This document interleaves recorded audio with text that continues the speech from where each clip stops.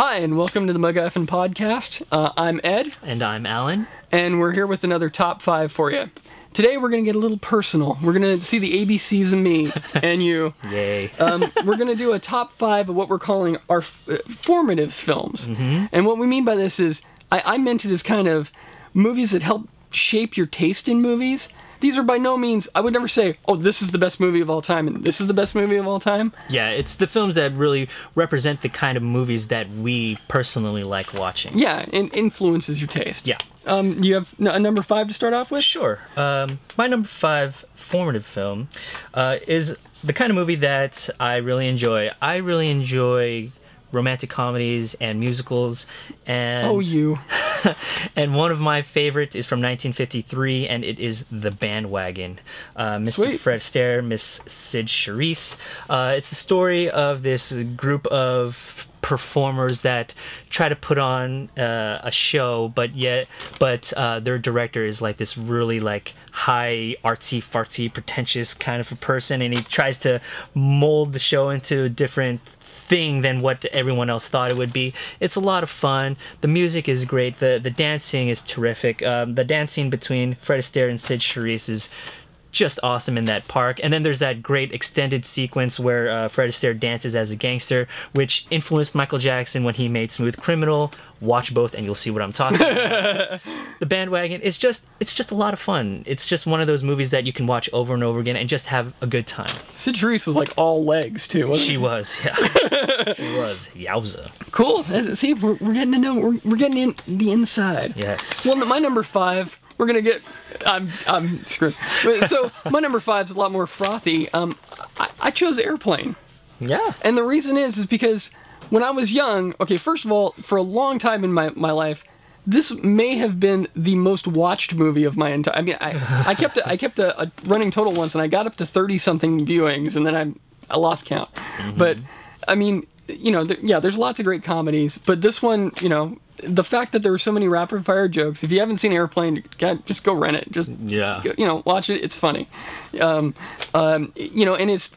It, it, in, in in my current brain, it, you know, I, I'm able to m- make the linkage of like, oh, that style of humor was influenced by, say, the Marx Brothers, Oh, yeah. from a long time ago, or you know, and and how it influenced it's influenced generations after it as well. Mm-hmm. Um, but my God, you know, between uh, Otto the autopilot and Leon's getting larger, I, I I can't tell you how much how many times I've thought back on that movie over the years. It's yeah, it's it's awesome. I mean, what else can you say? It's one of those great like later day uh, screwball comedies. Um, I mean, wasn't like Kareem Abdul-Jabbar in that Yeah, oh, yeah. movie? And then there's that um, that old lady was talking to those uh, two pimps, and she's like, "What's up, man? What's going on?" You know. Excuse me, Miss. I speak jive. That's Yeah, that, yeah, I speak that, jive, was that's Mrs. it. Cleaver from Leave It to Beaver. Right, right. And Yeah. it's just crazy. It's out of this world, but it's awesome because of it. Yeah. Moving on to my number four. Uh, my number four film uh, represents the kind of movie that I really like in the action genre. Uh, it's from 2010 and it is Takashi Miike's 13 Assassins. I have not seen this yet, one yet. Sort of a slight I've heard remake update of uh, Kurosawa's Seven Samurai. It deals with these uh, 13 Ronin who pretty much take it upon themselves to stop this cruel warlord from pretty much reigning the land with terror and brutality. And it's awesome because it's broken up into two different films. The first half of the movie is them pretty much plotting it out, kind of like a heist film. It's like we're gonna do this, we're gonna do this, you're gonna do that. This is your job. And then the second half of the movie is nothing but absolute action. They trap like freaking 200 guys into this like town and it's pretty much just arrows and swords and they're just going at each other nonstop it's just awesome I can't recommend it more. If you like samurai movies, martial arts, or just action films in general, it is the movie to watch. Sweet. Yep. Well, uh, on to my number four. Um, we're going to stick in Asia for mine, um, and that would be Ikiru uh, by Akira Ah, Kurosawa, yes. Uh, which I believe translated means to live. To live, yeah. This is one of those movies that I still I, I, I always think of as one of the most moving experiences I've ever had watching a movie. Um, if you're not familiar with it, it's the story of a a, a very uh, s- very low bureaucrat in the in, in government who is going about his daily life and discovers that he is diagnosed with cancer. And the rest of the film is him just grappling with that reality that he's probably going to die. Um, the movie also takes a, a hard, about two thirds of the way in, it takes a hard viewpoint shift away from the main character, which is it's jarring, and you think why, but then you realize how brilliant that is as well. Um, also, I'm I'm not going to ruin the ending, but it's got one of the most moving last sh- moments in a film ever. Um, the, that that performance in Ikiru is fantastic.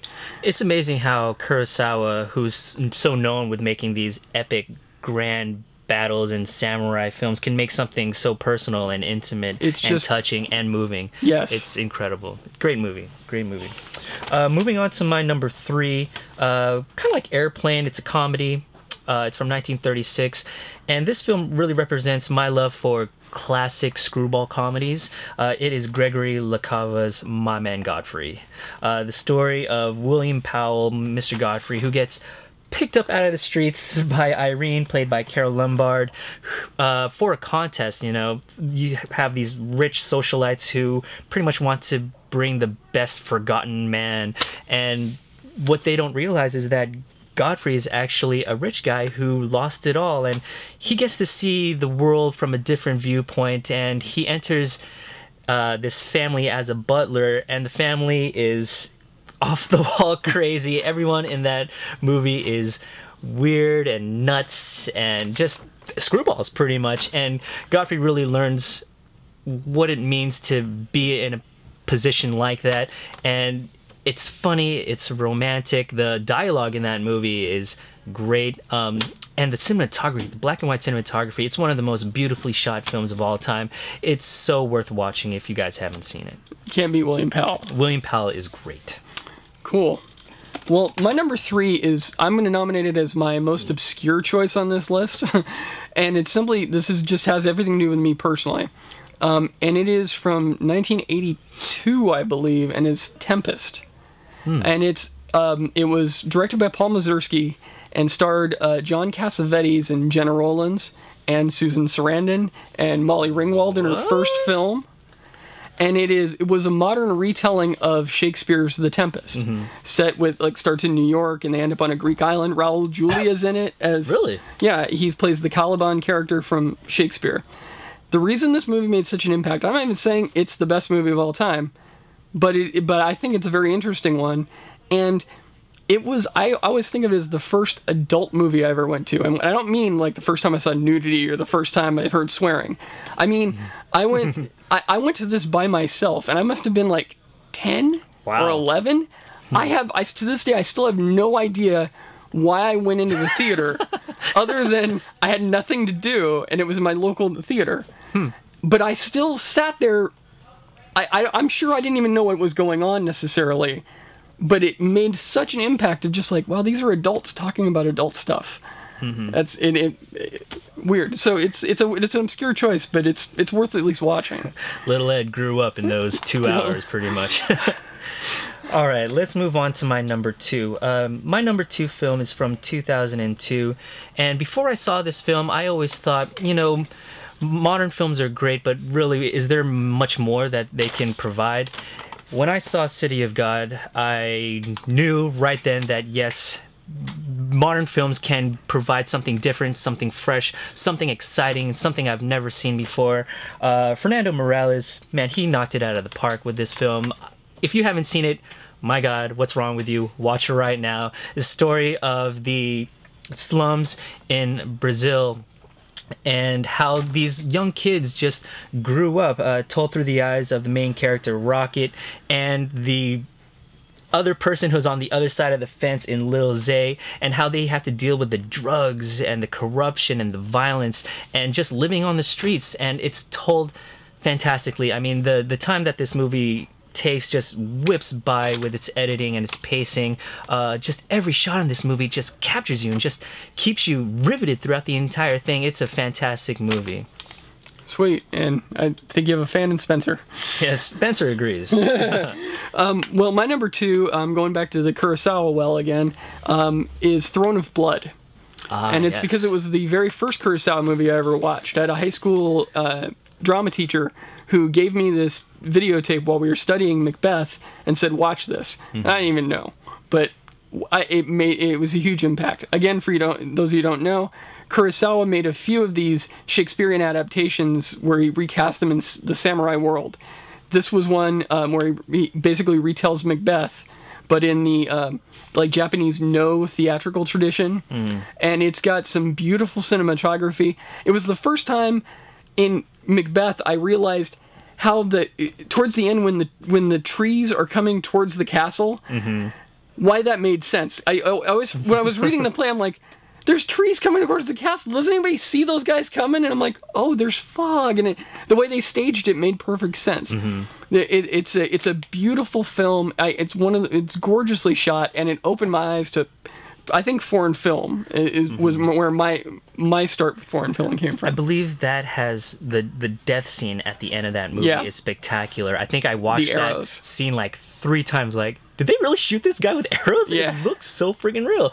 Yeah, that's that's an awesome pick.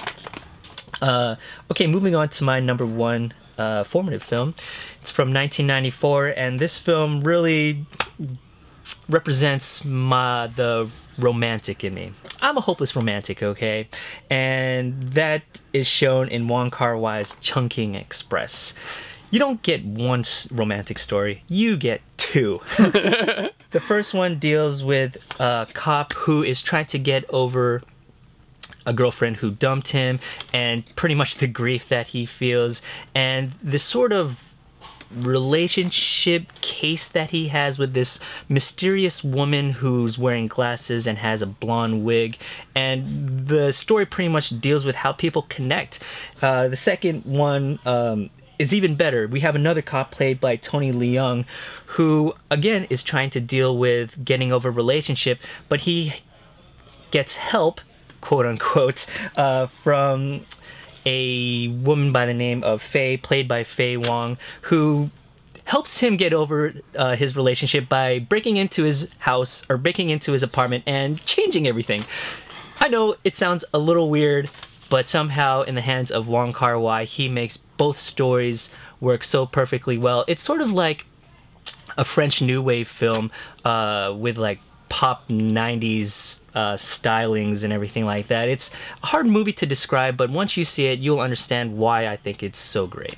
Sweet. Sweet. Well, my number one, when I thought of this list, this was popped right to mind. Um, I love Melancholy, and I think the reason wa- was because of this movie, The World According to Garp, which um, is a. I'm sure the first time I watched it, it was because oh look, Mork's in a movie, but but ever since then, it, it's I've watched it countless numbers of times. Um, it's the you know the story of Garp, basically from birth to death, uh, and the characters he meets along the, on the way throughout a lifetime. Um, you know, jo- uh, John Lithgow plays a, uh, a transsexual former football player.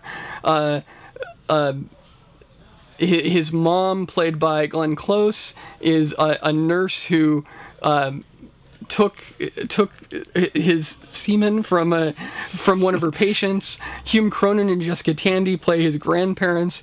Um, it's it's sad and melancholy and funny, and it was I. It's probably one of the first times where I realized, oh, you can have sad and funny all together. It's all mixed up.